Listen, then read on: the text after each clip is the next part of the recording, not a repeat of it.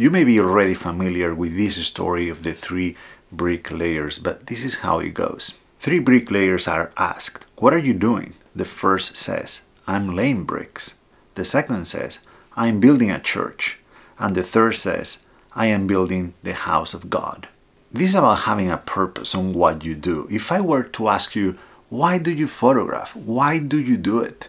What would you say? Would you have an answer? I believe that having a purpose, a reason, is crucial in photography. Otherwise, we'll be all over the place with no direction, no idea of what to do next or why, and we might end up getting burnt out. We need a compass, something that points us in the right direction so we don't get lost. But we also need to figure out how that higher calling applies to smaller chunks of time. This big purpose of mine, what does it look like in the next 12 months? What can I do in the next 30 days that goes in line with that purpose? And today, these are all very important questions and in this video I want to make you think about them and about your possible answers and maybe help you answer them if you haven't yet. This was, by the way, the topic of the last live stream we had over on our Patreon page uh, just a couple of days ago. We hold an almost weekly session where we talk about topics like these and all things related to photography. And today I wanted to highlight the work of a fellow photographer and a great supporter of my work, Terry Olsen. Terry has beautiful imagery on his Flickr page, so please go check it out following the link in the description. Thank you so much, Terry, and thank you so much to all my patrons for your support. Alright, so let me tell you about me first because it's the case I know the best, of course. Why do I photograph? What am I trying to do here? I believe that I have a purpose now. This didn't happen all of a sudden, it's evolved over time. It was just a blurry concept a few years ago, but it's becoming clearer and clearer every day, even if it's still changing and evolving, of course. I see now that for years I was blind. Of course, blind in a metaphorical sense. There was nothing wrong with my eyes or my brain that I know of. But it's just that I, I wasn't seeing. I wasn't paying attention. I was just going through the motions day after day. I was taking a lot of my life for granted and I didn't appreciate all I had. Nature changed all of these. I moved to Oregon, I started to go on hikes, and those experiences kept blowing my mind. I picked up a camera to capture all of that and over time, thanks to that camera, I was able to bring that sense of wonder and awe into my daily life. Even if it was only for a few times a day, I was able to turn off that autopilot mode and see the beauty in everyday stuff. That was a feeling I wanted to chase, I wanted to explore more, and that's why I became a full-time photographer. So that is my purpose, to see no matter where I am, no matter what I'm doing to wonder, to be able to stand in awe in front of a majestic mountain or in front of a tiny and fragile flower. To realize that every day has uh, magical moments that usually go unnoticed and, and to notice them and to make every day count. And I know that all of these might sound very cheesy, but photography truly makes me feel alive. I just came back from my morning walk here in town I felt like a huge adventure even though it's just a regular Saturday morning and I didn't go anywhere. There was a lot of fog though and that helped quite a lot. But in any case, I put myself in situations where I could not put myself if it wasn't for photography. The camera pushes me to go farther, it helps me see things that I hadn't seen before, and seeing those things motivates me to take more photos. It's a cycle that goes on. It's a good cycle. That's why, for whatever reason, I break that cycle, I lose that momentum, I don't feel good, I feel stuck, I'm motivated, like I'm not inspired anymore. These are the moments when it's very important to have that sense of purpose, to have a clear vision of what we want to do with photography because it reminds us of why we started and why we do it and why we will keep doing it.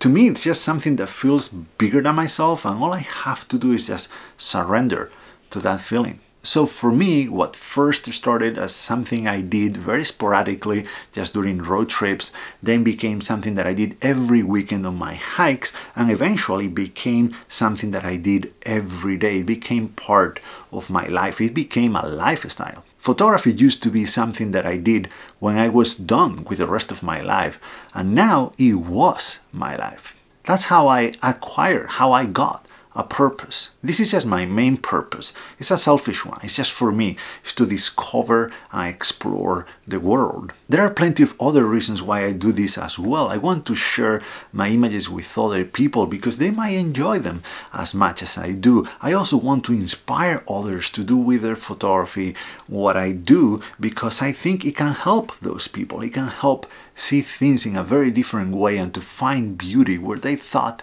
there was none before. This is all part of the vision I have of my photography and this is why you are watching this video. This is why this channel exists at all. So that's my purpose, but what's yours? Maybe it's something similar to mine.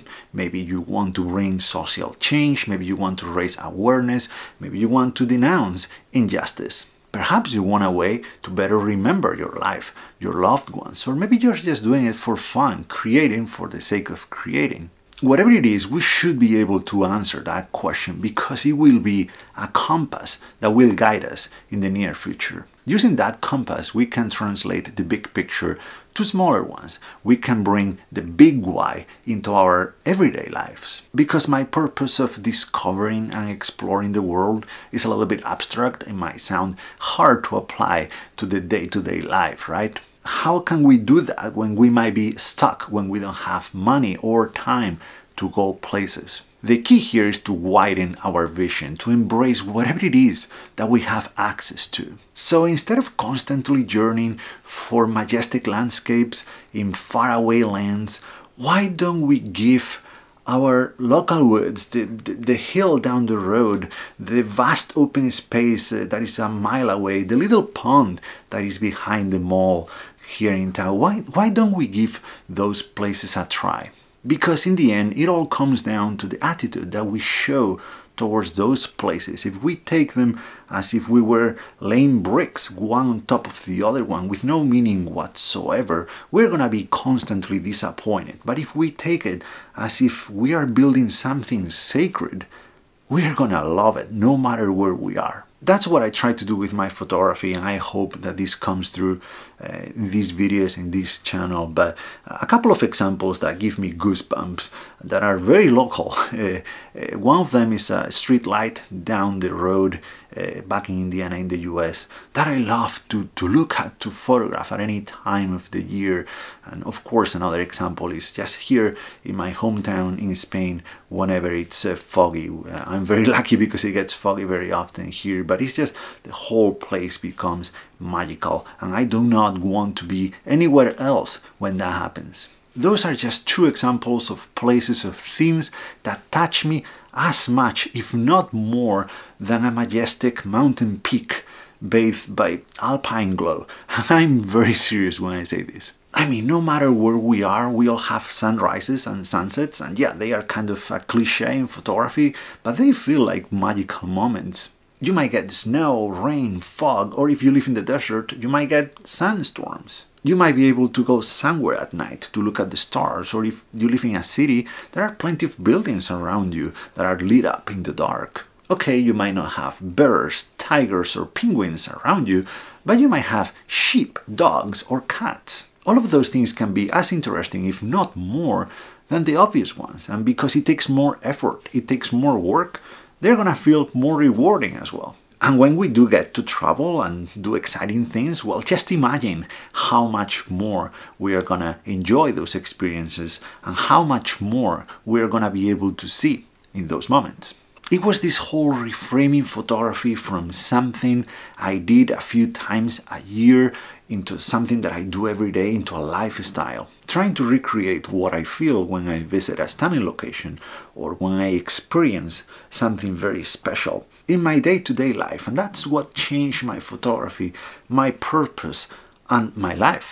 I hope to convince you that photography can do this for you as well if you aren't convinced just yet. I have a few videos coming up from just around here where I'm trying to find beauty where I didn't think there was any before. So please consider subscribing if you haven't yet. I'd also love to hear your thoughts about this, about your purpose. Are you still working on that, exploring what moves you, what inspires you, what excites you? Or do you already have a clear idea of what you want to do? Please share your story with all of us in the comments down below. As usual, thank you so much for watching and see you in the next one.